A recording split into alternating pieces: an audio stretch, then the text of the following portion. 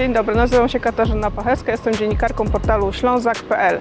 Zapraszam dzisiaj na spacer ulicą Dworcową, jedną z głównych ulic Śródmieścia Katowic. Kiedyś ta ulica wyglądała zupełnie inaczej, była właściwie takim jednym wielkim parkingiem. Dzisiaj to salon Katowic, ulica pełna restauracji, kawiarni, różnorakich e, lokali gastronomicznych. Są tutaj dwa hotele, a wkrótce będą cztery. Zapraszam na spacer ulicą Dworcową. Chodźmy. Ulica Dworcowa, dawniej Bahnhofstrasse, wzięła oczywiście swoją nazwę od dworca kolejowego. Dzisiaj znajdują się przy niej aż dwa dworce. Historyczny stary dworzec, już nie pełniący funkcji kolejowej oraz nowy dworzec wybudowany w 2012 roku w miejscu obiektu z lat 70. XX wieku. Zaczniemy nasz spacer od końca, bo ulica Dworcowa ma swój finisz na skrzyżowaniu z ulicą Słowackiego wcześniej biegnąc tunelem pod dworcem PKP i Galerią Katowicką.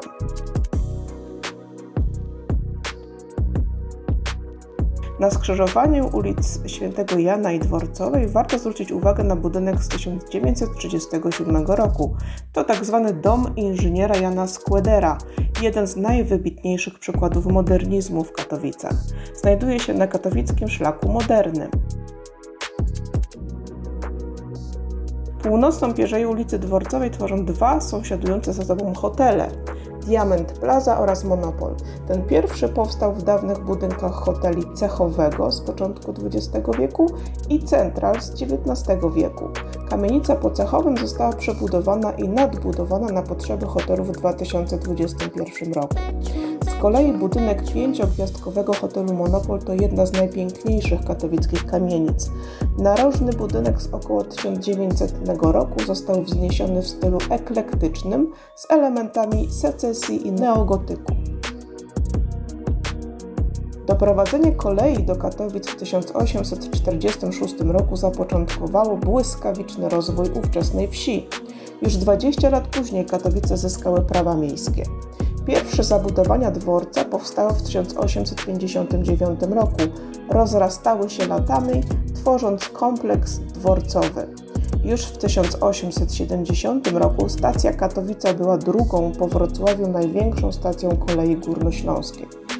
Po wybudowaniu w 1972 roku dworca w miejscu dawnej stacji towarowej, znaczenie stacji przydworcowej zaczęło maleć. Stary dworzec zaczął się odradzać dopiero w XXI wieku za sprawą prywatnego inwestora, który kupił budynki i zaczął je jeden po drugim modernizować. Dzisiaj cały kompleks jest już na ukończeniu. Działają w nim liczne restauracje, kawiarnie i lokale gastronomiczne. Swoją drogą dworcowa mogłaby się teraz nazywać restauracyjną, ale są też placówki usługowe oraz biura. Dworcowa jeszcze kilka lat temu była zwykłą, zapchaną zaparkowanymi samochodami ulicą. Jednak przebudowa kompleksu Starego Dworca dała impuls do tego, by zmienić oblicze tej ulicy na bardziej reprezentacyjne. Postanowiono na odcinku od Dyrekcyjnej do Mariackiej zmienić ją na deptę. Wcześniej wyłączono z ruchu ulicę Mariacką, więc w 2021 roku wraz z zakończeniem przebudowy stworzyła się znacznie dłuższa strefa piesza w Katowicach. Dworcowa zyskała nową nawierzchnię oraz elementy małej architektury. Powstała fontanna, wokół niej umieszczono ławki, na których można przysiąść, by zaznać ochłody. Posadzono tu w sumie 55 drzew, w tym specjalne gatunki wytrzymałe na wysokie temperatury graby, buki i miłożęby, ale też urokliwe brzozy.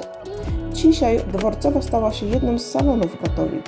Poblicka Mariacka jest bardziej impresowa, a dworcowa spokojniejsza, z miejscem na letnie ogródki i restauracji, ale i okazjonalnie na scenę, na której odbywają się koncerty czy inne wydarzenia.